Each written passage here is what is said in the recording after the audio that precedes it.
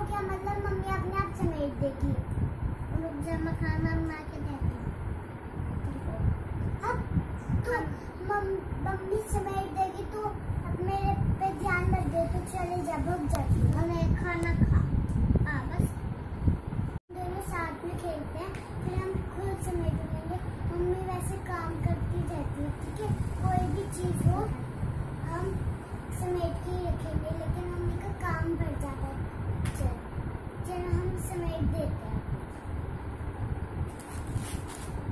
down.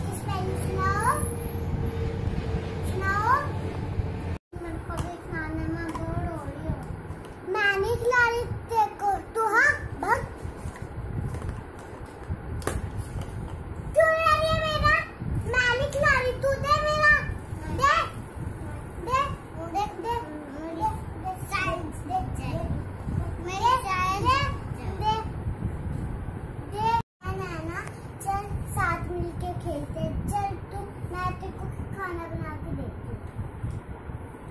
ये पकड़ खाना खा रही